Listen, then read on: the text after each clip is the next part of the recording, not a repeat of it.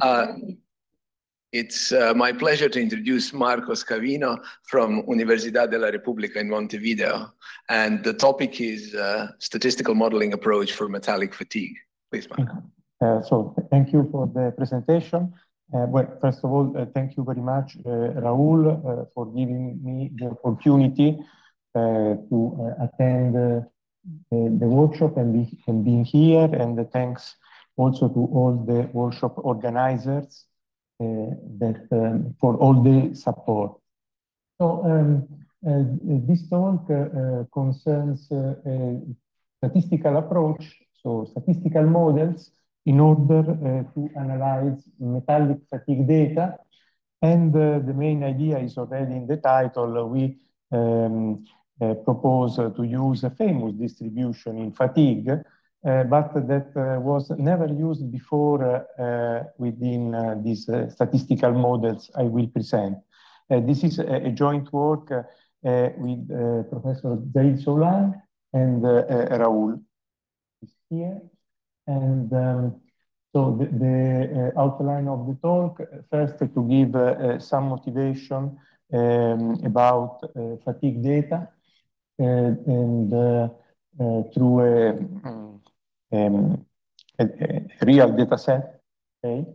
Uh, I will present the main characteristics of these uh, data sets. Then uh, there uh, will be uh, some statistical model. We propose to analyze um, the available data, a short part of model comparison. Um, and there is also a, a new proposal regarding the notion of equivalent stress that can be used uh, within uh, this model in order to improve, say, their capability of explanation and prediction. Then another, if time allows, experimental data sets conclusion. So um, the results presented in this talk are based uh, upon a very uh, recent uh, work with um, Zaid and Raul. Uh, however, uh, this work truly has um, its roots in a previous work um, that we made years ago with the late Professor Ivo Babuška also and Barna Szabó.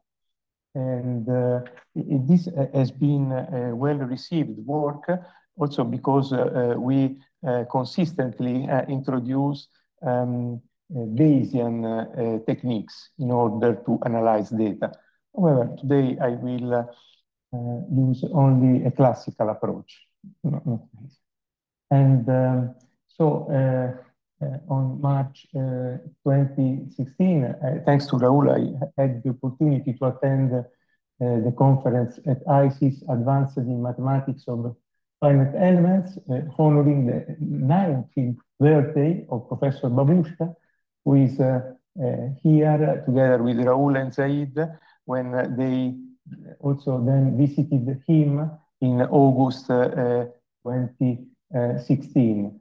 And um, this visit, the participation to the conference, prompted also um, another work with um, lead Professor Babuška and Barna Szabó, um, which was also based on uh, finite elements. okay, and um, so you may access this uh, photo from the uh, web page of the stochastic numeric groups at KAUST.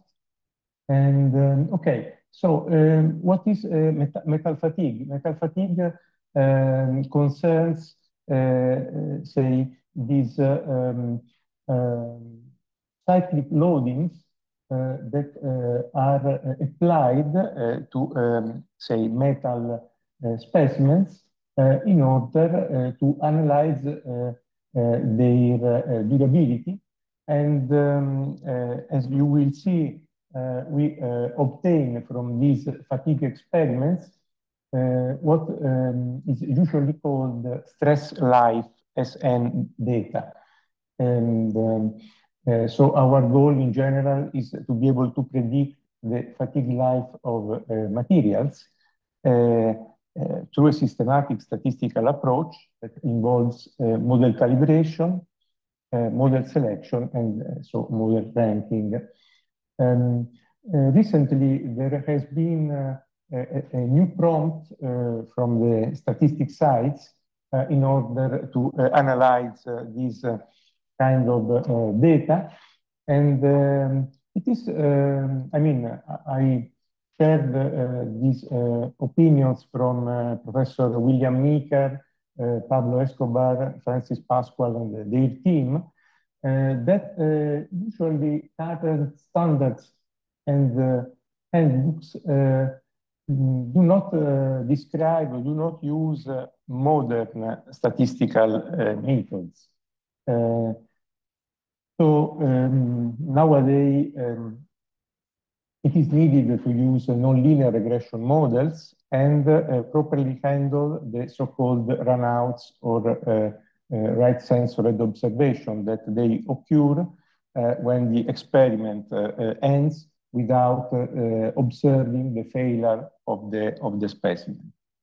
And um, so it is, I mean, statistician hopes that uh, improve the statistical inference method uh, may be introduced even in the engineering standards.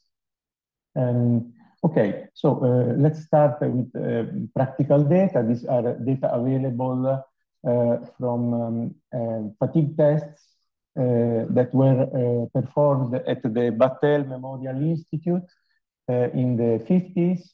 And at the end, we have 85 um, uh, experiments on uh, aluminum sheet uh, alloys 75S-T6.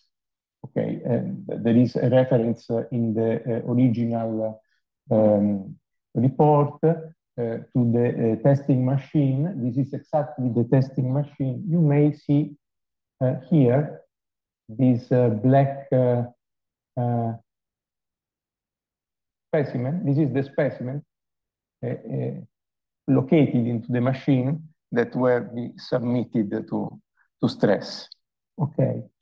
And um, this is uh, perhaps even more, uh, even more clear uh, where the specimen, how the specimen is located, um, and the rigid grips that allow them to um, submit this metal to stress.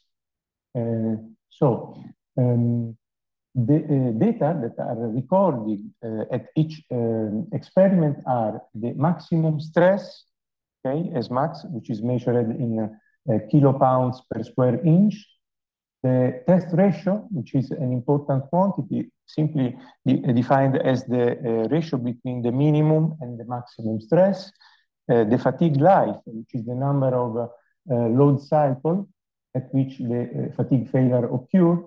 And then we have also a binary variable to denote whether or not the test has been stopped prior to the observation of the, of the failure. So in this uh, real data set uh, with 85 experiments, um, we um, observed 12, uh, 12 runouts. Okay. Uh, so these are the uh, real uh, data. you may see the second column contains the maximum stress as max, um, the number of cycles in the third column, the fourth column, the cycle ratio capital R, and the last column denotes if uh, the experiment uh, has been run out or not. okay. So um, this is the shape that you observed first in black in the true pictures uh, for the sheet specimens in these uh, data sets of aluminum alloys.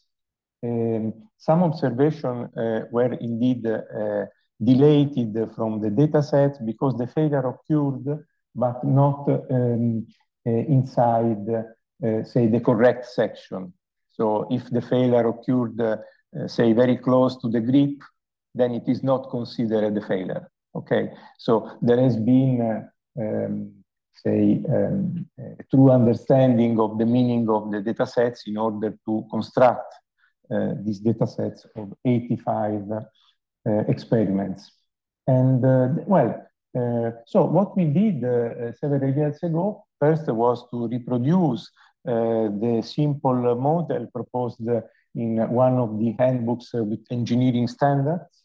so this is the expression that I will use many times to express the, the mean equivalent stress and uh, the equivalent stress, which is the fundamental notion, uh, needs to be introduced uh, because uh, we uh, observed several experiments with um, different uh, test ratio. So we need to be able to um, compare in a unique formulation some experiments that are so different in nature because of the value of R. And so there appears this uh, other uh, fitting uh, parameter Q. Uh, um, and uh, for instance, in, in this least squares approach, we simply have to minimize this objective function um, in order to find the unknown parameters A1, A2, and 3, which characterize the mean equivalent stress, and Q, which is the new parameter uh, for the expression of the equivalent stress. Okay, so we fit uh, uh, this model to data, we find um, the estimations, and um, in particular, the value of A3, which in this literature it is considered, or it is named, the fatigue limit uh, parameter. Um, okay. Here there is a mention uh, regarding uh, um, the estimated fatigue limit that some authors um, truly consider relevant to uh, have a distinction between the notion of fatigue limit and the fatigue limit parameter A3 in the models. And uh, so uh, they consider the fatigue limit, which corresponds to the value of the maximum stress when the test ratio is the, equal to minus one, the so-called fully reversed uh, condition uh, that I summarized uh, below. This occurs when the stress alternates symmetrically between uh, equal magnitudes of tension and compression. So we, um, um, in, in, these data sets, we have tension-tension uh, experiments when the, the, test ratio is greater than zero and the tension compression experiments when the test ratio uh, is uh, negative. Um, good. So um, uh, here is the fit. So uh, I have uh, not been able, right, to plot before the data because the data depends on the um, fitting parameter Q. So now we are able to plot the data because we fitted the parameter. Uh, and um, uh, so usually in, in, in statistics, uh, mo most of the time, um, the response variable is on the vertical axis, but in fatigue, it is a tradition to put the number of cycles in the horizontal axis. Okay, so this is the, the typical uh, SN curve uh, that uh, we may obtain um, uh, this typical curvature that occurs with SN data. And um, here there is no distinction yet between the two kinds of experiments when the stress ratio is uh, greater than zero or less uh, than zero. Also, in this approach, in the handbook engineering standards, uh, the runouts were not considered. So uh, in, um, in uh, 2016, uh, we moved by proposing models that are able to handle the runouts. Um, and um, even today, I will uh, mostly consider the, uh, the so-called fatigue limit models, okay, where there is this uh, A3 parameter, as you will see, always there. Uh, remind mm, the expression for the equivalent stress, which is also crucial. And in today's talk, we have a proposal to improve the equivalent stress. Um, okay, so um, here is the first model. So the fatigue life here is modeled using a log normal distribution, which means that the logarithm base 10 of the fatigue life n is a normal distribution with the, mean equivalent stress, uh, which is uh, um, detailed here. Uh, and in this model, uh, the standard uh, deviation uh, is assumed constant, equal to tau. So we have, we may propose the likelihood for this model with these five parameters given the 85 experiments. So m is equal to 85. We have this uh, uh, expression for the likelihood that uh, considers here the run-out data. Is the run-out part for the right sense of the data.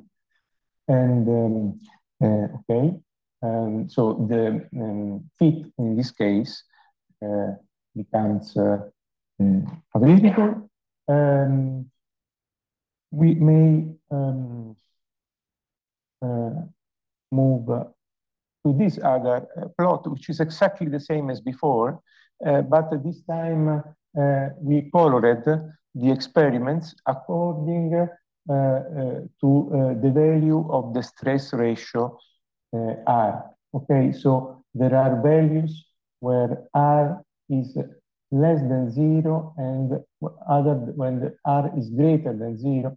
And roughly we can say that uh, the median quantile, the black uh, curve, in some sense uh, separates these two um, kind of, of experiments. Okay, so um, this is uh, just to emphasize that there are uh, two kinds of loadings in these uh, 85 experiments. And then, uh, so the proposal uh, is to use in some way the Birnbaum-Saunders distribution, which is very famous in fatigue, um, um, in order to model the fatigue life.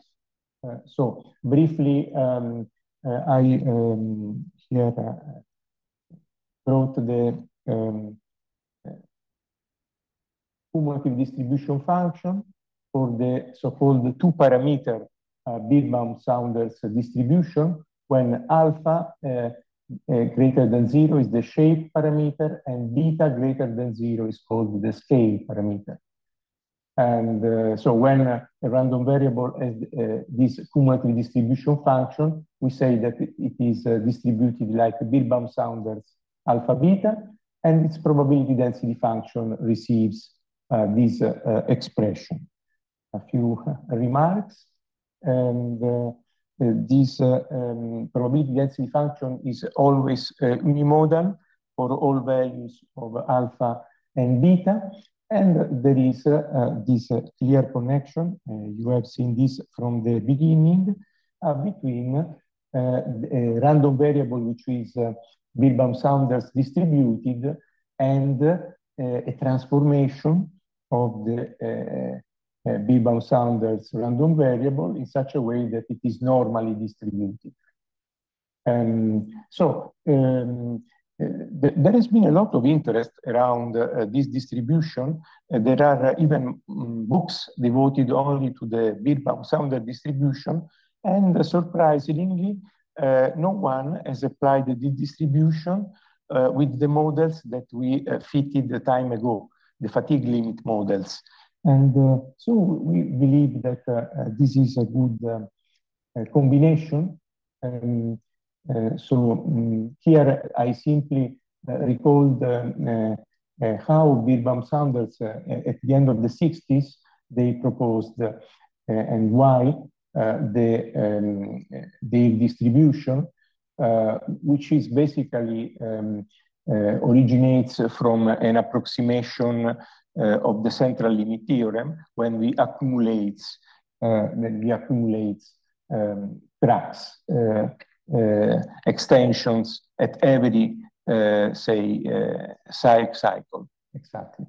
And uh, so uh, here we have um, the heuristic arguments uh, that uh, show immediately um, why using the central limit theorem and assuming that uh, uh, the cumulative distribution function of the fatigue life t measured in number of cycles received this expression through the normal distribution, then uh, Eh, by choosing, uh, as we have seen uh, properly, alpha and beta, we have the Birnbaum-Saunders distribution. So then many other authors, indeed, they had the, um, say, um, goal in order to justify why to use the Birnbaum-Saunders uh, distribution in Adams framework also.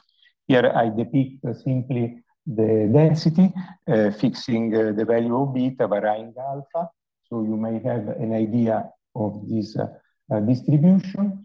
And um, there is another distribution which it is important to us, which is the so-called sun hyperbolic normal distribution.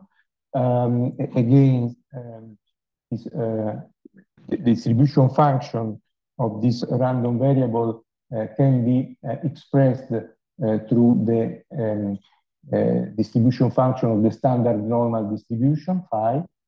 And uh, we may provide, uh, of course, the uh, density of this distribution. And it is important to us also the connection uh, between a random variable which has the Birnbaum-Saunders distribution alpha beta, and in such a case, the uh, natural logarithm of uh, capital T um, as a sine hyperbolic normal distribution alpha log beta 2. Okay, where uh, in this case um, alpha uh, is uh, the shape parameter, um, the, the parameter in the middle, in this case log beta is the location parameter, and sigma, which is equal to 2 in this case, is the scale parameter. So this is uh, um, what people sometimes call the, the log Birnbaum-Saunders uh, uh, distribution. And here uh, you have um, uh, the relation between the sun hyperbolic distribution and the standard normal uh, distribution. So it is not difficult to generate simulations for this random variable. Okay, uh, so these are the densities for the um, sine hyperbolic uh, normal distribution when sigma is 2, gamma uh, taken to, equal to 0, and I varied only alpha to get some idea. Okay. Uh, so um, now the, the, new model. Uh, first one, which we called model 2A, is um, when we propose to assume uh, um, that the fatigue life n is modeled as uh, a Birnbaum-Saunders distribution, or equivalent, equivalently, the logarithm of n, which we just uh, looked at, as a sine hyperbolic normal uh, distribution. Uh, so, um, using uh, this other distributional assumption, we may write again the, the likelihood uh, this time we do not have the standard deviation, we have the shape parameter alpha, okay? The, uh, as usual, the uh, part which refers to the runouts.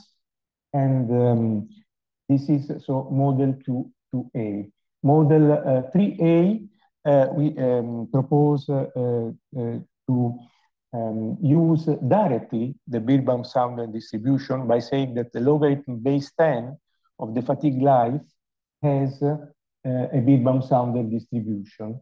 Then the likelihood becomes uh, um, available in this expression. And here there is uh, the um, density of uh, Birnbaum-Saunders random variable. Okay, so we have uh, already uh, two new models that use in different way uh, the Birnbaum-Saunders distribution. Then um, we may fit we already did this uh, with the um, log normal distribution, model 1A. We may uh, use the other two models that I just introduced, and we may see that according to the value of the maximum log likelihood, um, the model 3A is the receives, say, the best, the best performance here. Okay? And um, so you may also uh, all the point um, estimates for all the parameters included in these uh, models. Uh, okay, and um, here, ah, sorry. Uh, oh, okay, okay, yes, this is already model 3A. Um, so we may appreciate uh, the quantiles function and uh, uh, all the data um, with, uh, say, at, at uh, right now the best uh, the best model. but then we um, generalize the, the three previous model instead of considering a constant standard deviation and constant shape parameter, uh, we allow them to vary according to the equivalent stress. So, uh, so now the model, uh, for instance, the first one based on the log normal distribution. So the equivalent, the mean equivalent stress has the same expression as before, and the um, uh, standard deviation of the equivalent stress has now this expression 10 to power uh, uh, say log linear uh, expression for, uh, that depends on the equivalent stress. Good. Um, so the, the, the, other two previous models that use in different way the Birnbaum-Saunders distribution, they are also uh, generalized by allowing non-constant shape parameter as a function of the equivalent stress. Okay, so now we have three other models uh, to fit uh, to, to our uh, data. What we observed even in the case with the uh, log normal distribution is that um, the quantile, say 005, approaches faster to the um, horizontal asymptote. So this is a, common behavior and um, good. So yes, here I plot model uh, 1B now with the plot. Uh, also, it is important if you are interested in some parameter in particular to get the corresponding profile likelihoods. So, which means that uh, you maximize uh, the likelihood with respect to all parameters except the one you are uh, interested, normalizing it uh, to the maximum uh, likelihood for all parameters. So you may provide here um, these curves. For instance, here we compare the profile likelihood for the so-called fatigue limit parameter A3 in, in, the two models with uh, the normal distribution. Okay.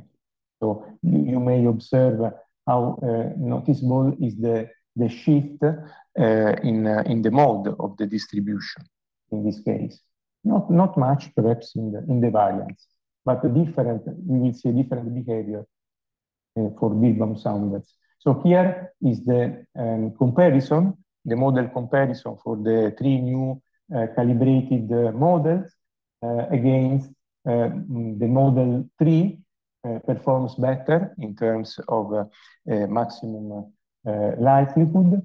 And um, uh, in general, uh, we may compute several classical information criteria in order to rank the proposed models. And we see that based on Akaike information criteria Bayesian information criteria, Akaike with correction, um, the models are clearly, uh, say, um, uh, ranked. Um, so we um, do a good, we obtain good results in favor of Birnbaum-Saunders distribution. Good. Um, let's uh, now observe something. Um, uh, the, the, I mentioned that the experiments uh, are of two kinds. There are two kinds of loadings. So when capital R is less than zero, capital R is greater than zero. And uh, so we may fit again the six models uh, to this uh, uh, uh case. And uh, um, we, if we take a moment, we may observe that the parameters q here is always greater than 1, and here is around 0.5, 0.6. So it is related to, to the sign of the cycle ratio R. This is the first observation. And um, here we uh, are fitting uh, the previous um, six models. Uh, indeed, I, I, fit only model one and three here, so two types, because model two is less has less performance. So we discard from now on. Uh, and um, uh, also, you may see how the scale of A3 is different when uh, you consider only experiments um, say with capital R less than zero or greater than zero. Okay, so this is will be an information that uh, we may now use. Uh, we did, um, say, an intermediate um, attempt uh, in order uh, to change the notion of equivalent stress from the previous definition, the so-called uh, Walker's model definition, to this other one. So we recalibrate all the, in this case, uh, four uh, uh, models with, again, the same data. And uh, you see the, the main change has been to divide it by two, one minus r, and at the exponent, instead of q, writing one plus q. Okay, this was simply an intermediate stage. But what uh, we achieved, we achieved now that uh, A3, you see, has the same scale uh, without uh, regarding the sign of R. However, still uh, uh, Q, the, the sign of Q now is strictly related to the sign of R. So it is positive when R is negative, it is negative when R is positive. Okay, so um, after uh, this, uh, say, intermediate study, we um, propose now for this kind of data with two clear different kind of loadings, we propose this equivalent stress. So the, the, the, only change with respect to the previous expression is that now at the exponent, we have 1 minus the sign of r times q. And we calibrate again uh, the, the models using uh, all the data. And uh, uh we dramatically, say, improve the fit of the model. So this is, say, a new finding by even modifying the definition of the, of the equivalent stress. And uh, so there are two, two things together, the, the use of the Birnbaum-Saunders distribution and um, uh, the proposal of the new equivalent stress. Good. Um, so then I uh, simply uh, depicted here the fitting and uh, all the fitting now are with this new definition of the uh, equivalent stress. So as usual for the models uh, with uh, non-constant variance, Eh, the eh, quantile eh, 0.05 approach faster the horizontal axis. So these are the fitting. And here you also may look at the um, profile likelihoods for the fatigue light limit parameter. Okay, you see that the um, the profile likelihood uh, for the Birnbaum-Saunders space has again higher mode and lower variability with respect to the normal distribution case. Okay.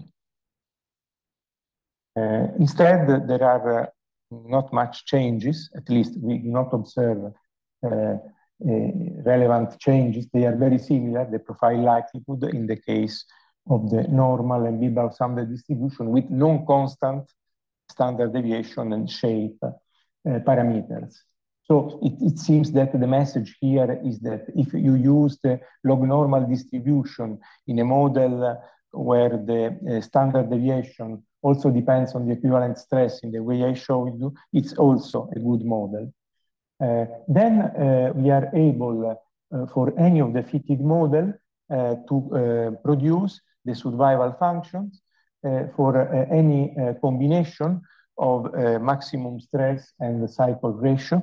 Okay, so here you may see, so these red curves with red circles, you may see which corresponds to the um, Birnbaum-Saunders uh, model uh, but with constant shape parameter, it outperforms uh, Uh, the corresponding normal model uh, because it has a higher survival probability uh, before the observed failure.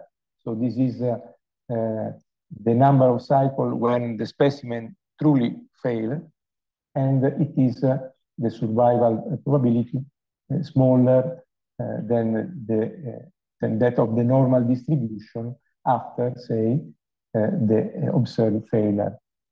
This is a good behavior that um, it is more or less, um, uh, it appears also for other combinations of the maximum stress and uh, the um, stress ratio R. Okay, so there are simply several cases that uh, we mm, uh, may, so we may do this for every kind of uh, specimen uh, pertaining to dataset one. And uh, yes, I still have a, a, few time to present the other uh, results. Indeed, in the paper, uh, we have uh, a third relevant example where we use also a very important data set, very often used in literature, and we improved the results of the literature.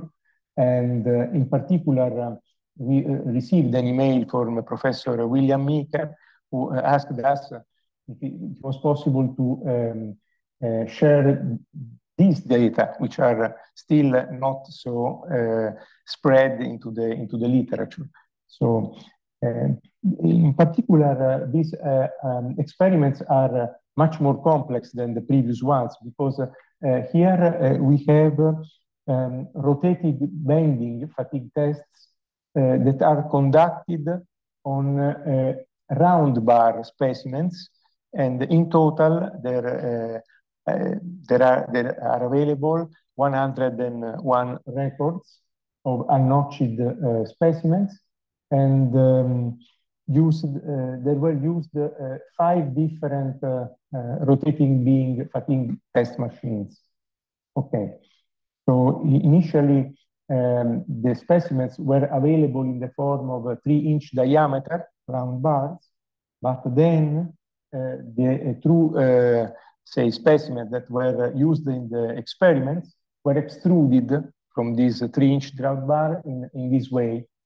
So, uh, for instance, uh, the one eight inch diameter specimens were obtained by this, uh, say, section of the initial specimen and so forth. The uh, one four diameter specimen extruded from this other part. And so in, uh, we have uh, in total five different um, kind of specimens according to the, the diameter. And uh, uh, so the fatigue test machine, they um, worked um, a different test machine for a different uh, diameter specimens. So you may find uh, details uh, regarding uh, uh, these round bar specimens for the unnotched case. the technical report is much wider and it contains also notched specimens. And indeed, a finding of the authors was that a, a truly um, careful in, in polishing first uh, this specimen is essential in order to provide mm, meaningful experiments. So there is all a discussion regarding the technique in order to polish the surface of these of this specimen. It's quite interesting And um, okay, so th there are different uh, um, pictures for the um, fatigue testing machine. Here there is uh, the Battelle machine that was used for the half inch diameter specimen, but there are the other four. This is, for instance, the Baldwin Southwark fatigue testing machine used for testing one inch diameter. So, and um, okay, so we have this uh, 101 round bar uh, specimen with five different uh, uh, kind of uh, values of, the, of diameter. In this case, the stress ratio is, is set to one. So um, this means the capital R is equal to minus one. And uh, therefore, uh, we have fully reversed condition. And therefore, the equivalent stress is simply equal to the maximum stress.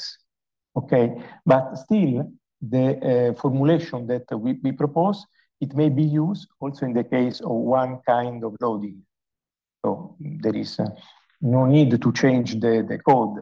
Uh, okay, simply assign the value. And uh, um, 13 out of the 101 experiments uh, were classified as runouts. So here the data as this structure, we have uh, in total uh, 35 uh, experiments uh, performed upon one 8 inch diameter specimen and, and, so forth. So the number is quite small for some um, minimum section diameter. So we did the following. We fit first only for uh, what we call specimen one, one eight uh, inch diameter, specimen two, only one four inch diameter, okay? And then we also fitted the models for the pooled data sets. Okay, so th these are, for instance, the data uh, for the last, uh, for the smaller values of inch diameter, the true, the true data, okay? And uh, so you see the runouts in, in red, and uh, okay. Uh, so uh, with the different, I mean, uh, inch diameters, you may appreciate, uh, for instance, the same sometimes uh, values of the maximum stress, okay? 40, 40, 40. So it's a combination. we, we used this information later. And here is the um, maximum likelihood estimates for the models of kind one and three, so log normal distribution and uh, um, when the logarithm base 10 of the fatigue life is modeled as a Birnbaum-Saunders distribution. And um, well, you may appreciate um, again in general uh, the um, better performance uh, when uh, we use uh, Birnbaum-Saunders uh, distribution. Um, good. Um, so here you see the fit has been done separately with the four models for specimen one, the four models for specimen two only, and then, as I told you, the pooled uh, uh, data sets. And uh, yes, Eh, you may see immediately here how eh, it becomes worse the fitting eh, when we put different things together in some sense. Okay, but still, in, in every case, we may appreciate the improvement, sometimes slight when the standard deviation and the shape parameter are non-constant, but there is always an improvement in terms of the Birnbaum-Saunders distribution.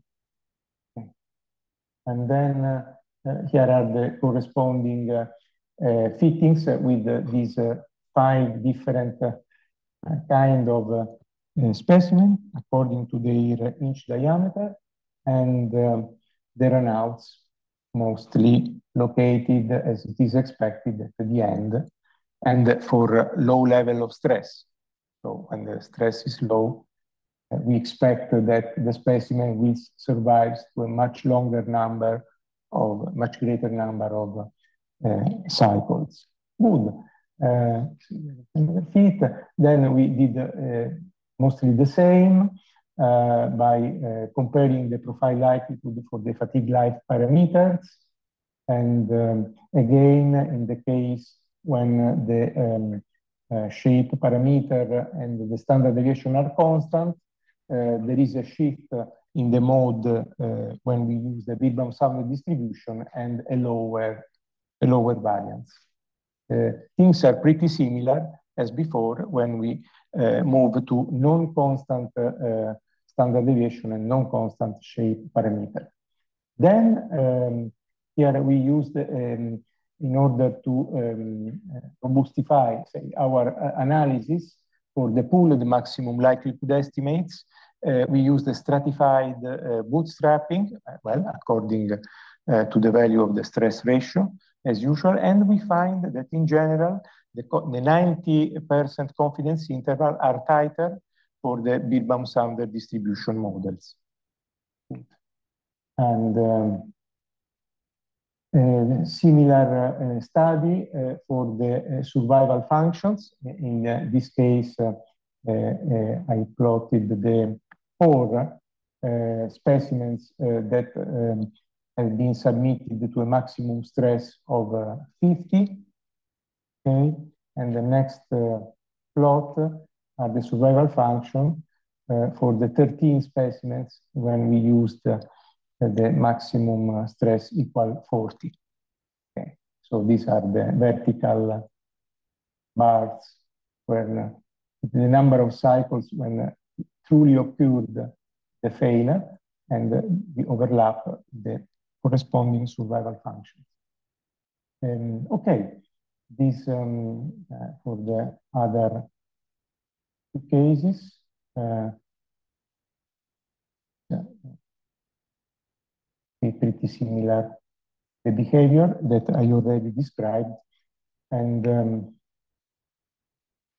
uh, in conclusion, uh, so uh, we use the, um, you see all the time this parameter A3, and so these are called in the literature fatigue limit models, but of a varying complexity, especially designed to take into account the right censored observation. They are called runouts. And um, in the dataset one, uh, we considered uh, uh, two types of loadings. Um, as I mentioned, the tension tension when capital R is greater than zero and tension compression when capital R is less than zero. And So um, we also introduced a new equivalent stress, and the combination of this idea improved the fit Uh, for um, dataset one. Uh, okay.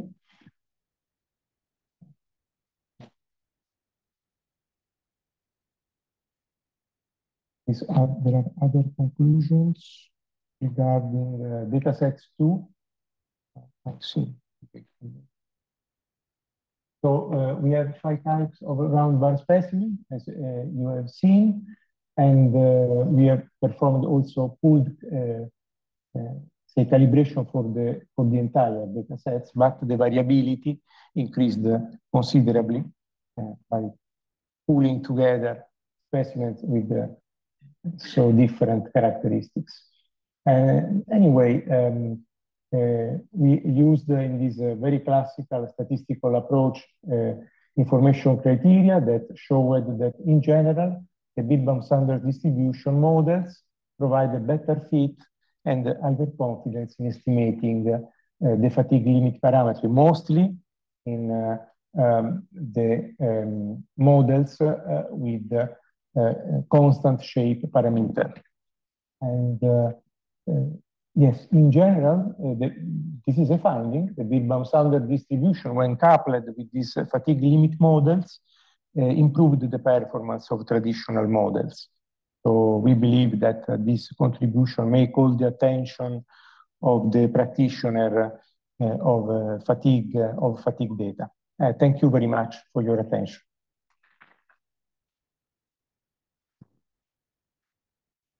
Thank you, Marco. Any questions, or comments? The cube. Okay. Oh. Very good. Wow. Test, test. Can you hear? Okay. Just curious. I see you invested a lot of energy in this project. how easy it is generalized to other applications. For example, one of application was uh, engines in big ships, but assume that I produce bicycles. Yes, every bicycle costs, let's say, 400 euro, but I produce millions of them and they're from metal and I need to be tested. Can I extend something from this project or not? Yes, indeed. Um, I only uh, told that uh, we also used um, these models with other kind of material. So for instance, for carbon, and uh, the performance uh, with this kind of models, uh, they are better than the one previously obtained into the literature. this is a really very famous data set of laminate panel data carbon. so these models, they are not restricted to the kind of material, but um, they are quite flexible. It depends the way um, the, the fatigue experiments have been performed. So we have suggested that we may even improve the notion of equivalent stress, which means that uh, we have all, uh, um, say, uh, a framework, indeed, with many models that we may fit. And uh, we may vary a lot among models and among also the, say, most engineering parts, which is the notion of equivalent stress that needs to be used, uh, yeah, right? When, when you obtain uh, specimens from uh, different stress conditions. So, so the answer is yes. Okay, thank you. Any other questions? Well, if not, let's thank Marco and Nadir for nice talks. Thank you. Thanks. Okay, so uh, on the program, I see there's a coffee now for half an hour, and then the conference program resumes on Sunday morning, right? Aha, yes, okay, but maybe you should, you want to say something about that? I am coming, yes.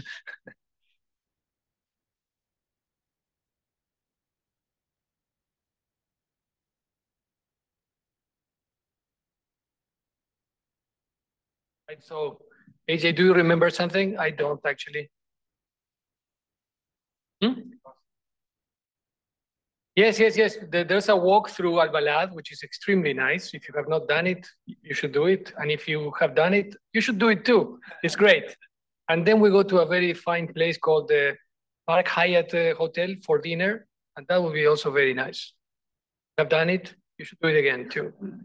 And you know it, that it's very good. But at what time is the pickup? Does it say in the, okay. So for those that, okay. Cool, okay, so, voila. Thank you very much. Let's, uh, let's go for the coffee break. Thank you.